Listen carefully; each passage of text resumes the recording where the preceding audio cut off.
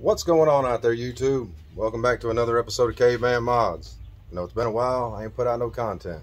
I've been busy doing stuff. Hard to record. Try to do stuff at the same time. Uh, stick around. I'm going to show you how we got to this point. Well, I ain't going to show you, but I'll tell you how we got to that point because I didn't record anything on getting to this point. So, uh, a little bit of a backstory here in a second, but before we get to that, also, do me a favor, like, comment, subscribe, share. I know I don't put out content as much as I used to, and I ain't really doing it on a regular basis anymore, but uh, that's mainly because I'm just busy doing stuff, man. I got to be, uh, you know, that guy that fixes everything around the house, fixes everything on this on the weekends, and, you know, I, I didn't want my YouTube channel to be centered around maintenance on a truck, and nine times out of ten, I'm working on this, but every now and again, I get to play with this, and, uh, you know, with this right here, I mean, it's a lot going on getting it to that point and try to do it all in a timely manner. Like I said, hard to do with holding the camera and editing videos and all this stuff. If I spend all my time working on this, I ain't got time to edit videos and I'm out driving a truck all week. So I'll put out content when I can, guys. Anyways, how we got to this point right here. It's flipped around. This is what it looks like without the front clip on. Still gotta take the bumper off. Should have did that before I took the front clip off. But yeah, how we got to this point. Well, a little bit of a story here, but we're doing a couple things. How we got to this point right here is because went to a car show, put it all together, put the car all together. You know, had a bunch of little odd and end things I had to straighten out and and rushed to get finished up. But we went to a car show, and I did it one Friday. Uh, I don't remember the day. It was beginning of the month, this month. But ended up putting all the little finishing touches on this together in a day, which was a lot. I had to kind of move every wire around under the hood now because where I originally had it all laid out was getting close to the exhaust. And so I had to move all that stuff. Um, and then, like I said, finish up a bunch of little odd and end things in, under the hood and got the car finished up, ready to uh, go to this car show. It took me nearly the entire day. I worked on it until about 3 o'clock in the morning, thrashing on it. Well, got it all done, fired it up, and uh, we were ready to go to the car show the next morning. So, went to the car show. Everything went off there without a hitch until we got ready to leave. And the car fired up, started running like crap. Drive not even really across the parking lot where we were at for the car show. And uh, yeah it just kind of shut off. Didn't want to run no more. Come to find out long story short I, I, left the ground wire loose on the back of the head for the injectors. And uh, yeah that will prevent your injectors from squirting fuel so. Took me a minute to figure that out found it and got it all back together. Took off from there come on to the house we get home and uh, tell my wife man hey you know the, the car made its maiden voyage without a hitch pretty much. Uh, let's go get something to eat in the car. And so we took off in the car.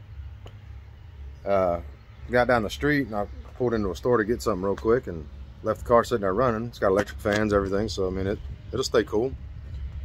Uh, come back out and take off and a little puff of smoke come out from under the hood. It smelled like burnt electrical. Immediately pulled back into a parking spot and jumped out and tried to figure out what it was. Well, come to find out it was this here. This goes to my engine fan. It burned up on me. Uh, the fan, it burned up. And uh, yeah, it melted a couple wires. So, no big deal. Vance Auto was around the corner, pull over there. And uh, bought a new fan. Changed it in the parking lot. Took about 20 minutes. No big deal. Uh, just ran it straight for the time being to get us where we were going to get something to eat and then come back to the house. Hold on. One second. So on the Oh. Well, we ended up changing that in the parking lot, like I said. No big deal. Got that done pretty quick. Took off from there to go get something to eat, and we were nearly there, maybe about a mile or so away.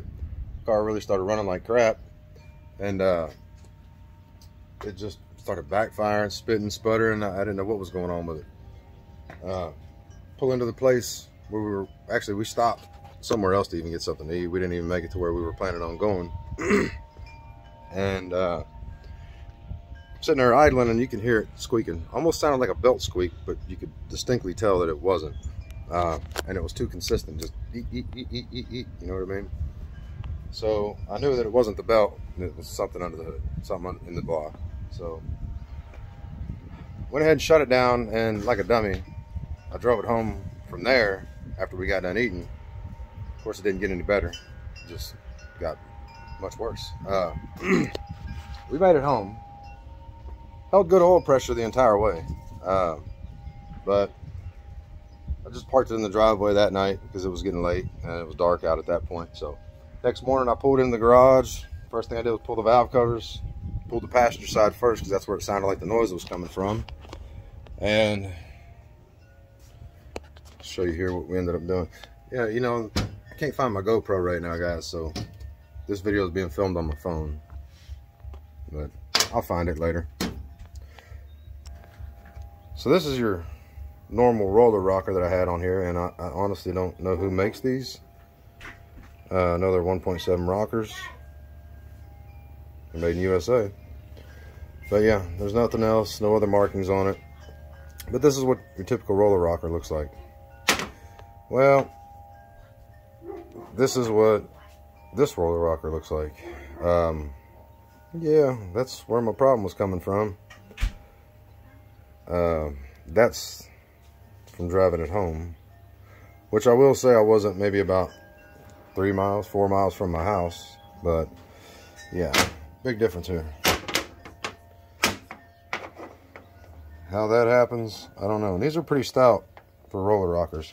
Uh, I will say the rest of it is here. The most of the rest of it. I had snapped that, that pin right there. That dowel, whatever you want to call it. The shaft that this roller sits on. Yeah, it snapped it clean. How you do that? kind of beyond me. Um,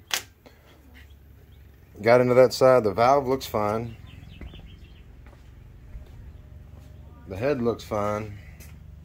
There's a tiny piece missing that I can't find. It's nowhere in the head. Uh,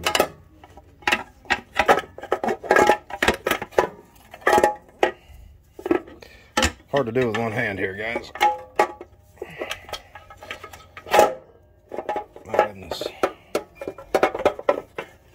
Me get this off. I'll get right back to you. Make sure you don't lose that. All right, got it off. Um, so it was on this valve right here. That's the intake valve. That's the exhaust valve. Um, I will say that somewhere along the line, and I don't know if it's because of the missing piece on this rocker arm that was right here, but the lobe on this cam is gone. This thing doesn't even move maybe a quarter to somewhere between a quarter and a half an inch. There's no movement hardly at all out of this push rod here. Uh, so we ate the lobe off of this cam, off the cam on the exhaust side and broke the intake rocker arm. Uh, that being said, now that there is, now that that's been established, uh, we ran metal through the motor. And in my mind, now that that's happened, uh, I'm to tear it down, obviously, but um, not to rebuild this motor for this car. Uh, I am to keep the motor, rebuild it for something that I'm probably to end up putting in for my wife. We'll tone it down a lot. Uh, but yeah, this block right here is not going back in this car. Mainly because what I'm trying to do here, this block can't handle. It can't handle half of what I'm trying to put into this. So this on its lowest setting is about 1200 horsepower. Somewhere in there with the boost and all that. You know, the only way to get it under that is just disconnect the turbos and that, that's pointless. What would I do that for? So, uh, you know, it's the two bolt main block. It can handle maybe 800 horsepower. I mean, and that's pushing the limits. Uh, I mean, this block's only good for ominously a good conservative 600 horsepower to be reliable. Anything more than that, and it's literally pushed to its limits. You can't do a whole lot out of a two bolt main. So, uh, got a new 454 block. it's a four bolt main. Uh, it's Mark IV block, so everything I got on this block will transfer over to that one currently got it at the machine shop down in Nashville called Shacklets. Uh, we're born at 30 over. Uh, I already got a four and a quarter crank uh, where my wife is sitting at over there. That big box she's in front of. She doesn't want to be on camera right now. Uh, so that box that she's in front of right there, that's full of parts. That's everything that's going into this is brand spanking new. Um, I guess I can kind of give you an idea of what we're going to put into this here in a second. But so this block's coming out. Everything's going to get transferred over. Obviously, keeping my head, that's $3,000 set of heads. Uh, we're going to run with the intake. Oil pan already has the bungs on it for the the oil drain from the turbos. So that'll switch over. Uh, the only thing that we're changing that we're not using on this block is the harmonic balancer. I got an Innovators West har harmonic balancer, SFI approved. Um, it's buried in that box. I'll show you in a second. But I also got a new flywheel, uh, also SFI approved. Uh, let's see, everything else we're gonna run with.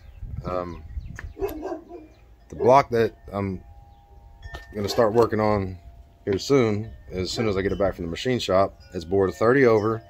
Uh, I got 23 cc dome top pistons with one valve relief. Uh, should have plenty of clearance for these heads because the ones that are in this one actually right now are 30,000 or 30 cc's. Um, but yeah, so the crank that I'm putting in it is a forged crank.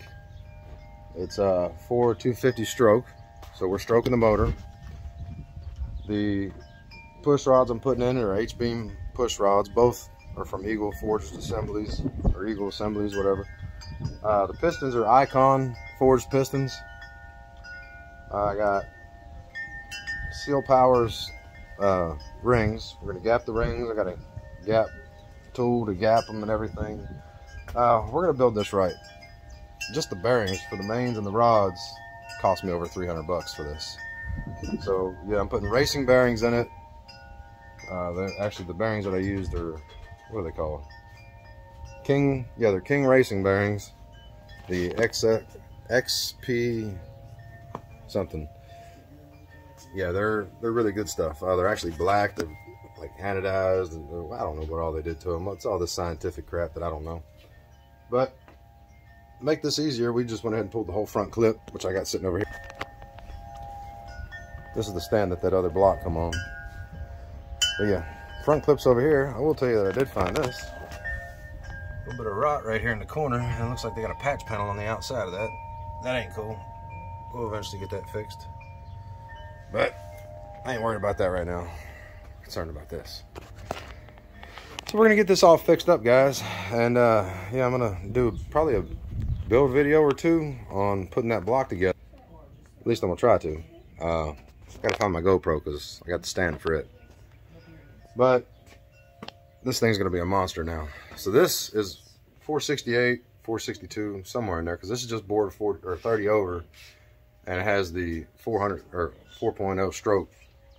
So with going with the Ford and 250 stroke, uh, we're gonna turn this into a 489 stroker, and I think what else? Oh yeah, the camshaft that I'm putting in it. Here, get you over here. So this is the cam that's going in it. this is from Cam Motion. This is a custom ground cam specifically for this particular application. Also, our head gaskets. These are from SCE. Uh, everybody's telling me to go with multi-layer steel head gaskets simply because it's steel, but there's some drawbacks to those, and I'm going to run with these. This is multi-layer steel on the outside, but it has coating, it's all glued together, everything.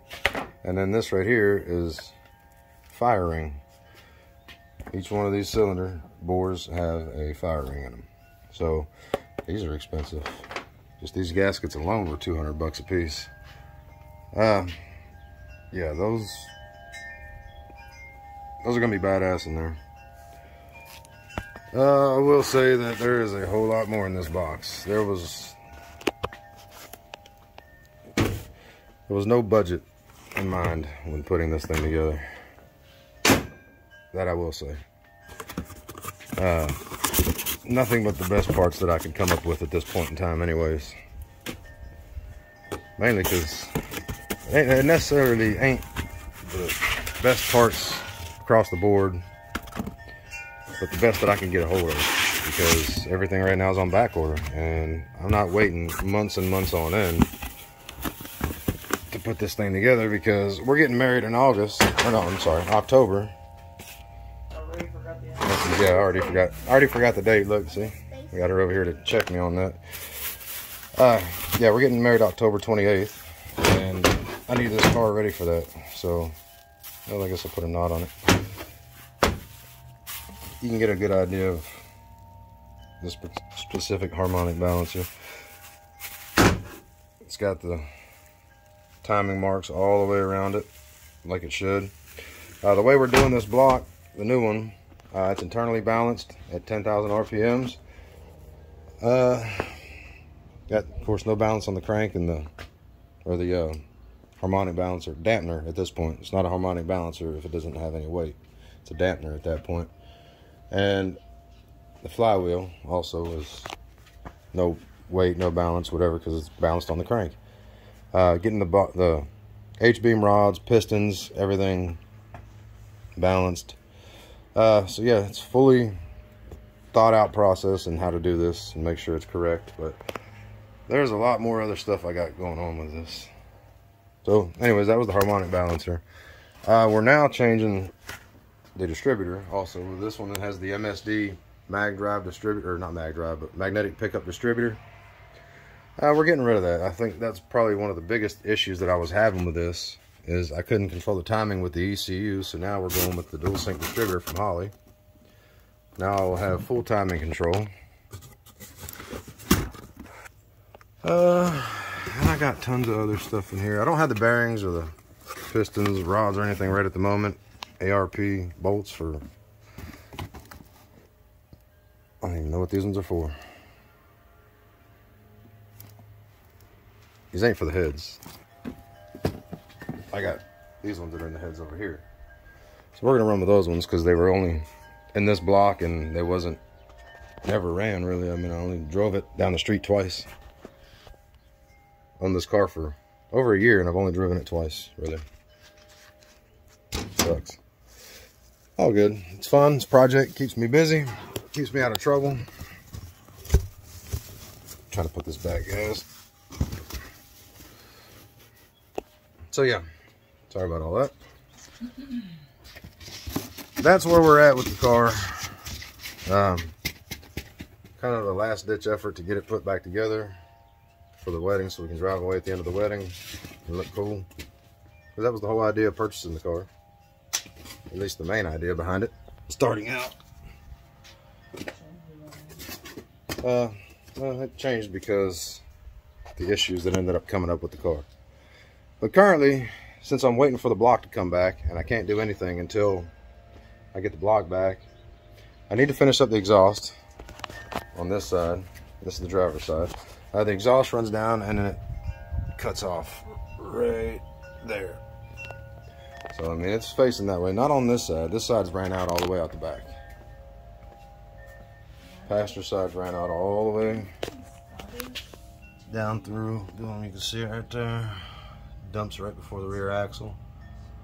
Uh, all that stuff in the bags over there, that's the pistons, crank, everything that come out of the other block that I already got. It was actually a fresh rebuild. It was a fresh rebuild, but the guy who ended up having it built never come back to pick it up. And a buddy of mine who's a partner, a friend of mine, he has a shop down in Nashville and he's partners with somebody else. Well, the guy he's partners with had a block sitting there and nobody was using it. So I got a fresh rebuilt block for 500 bucks. And I'm spending more money on machine work than I am the block, but for what I'm trying to do, uh, it has to be precise. So this is going to be a lot of work ahead, but I mean, it's something that I can put together in a day, I believe. But currently right now, since I'm not working on it, can't do nothing really other than the exhaust on this side.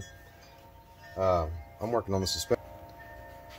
So right now, I'm putting coilovers I already got this one put together. It's just sitting there. Putting coilovers on the front. This is the driver's side. I got this side done first because I'm gonna jump to the other side here in a minute, but I wanted to get this all put back together and out of the way so I can finish the exhaust. But yeah, I don't know how good you can see that down there. Uh, Viking coilovers. This is the Berserker series. I got big block springs in it. They're 550 pound springs. And this is the passenger side. I had to put that rubber piece in there. I'll show you what I did it on this one. Yeah, I had to put those in there to lift the front end up because it sat so low, the upper A-arm wanted to hit the exhaust right in here. Right here. It was no room right there.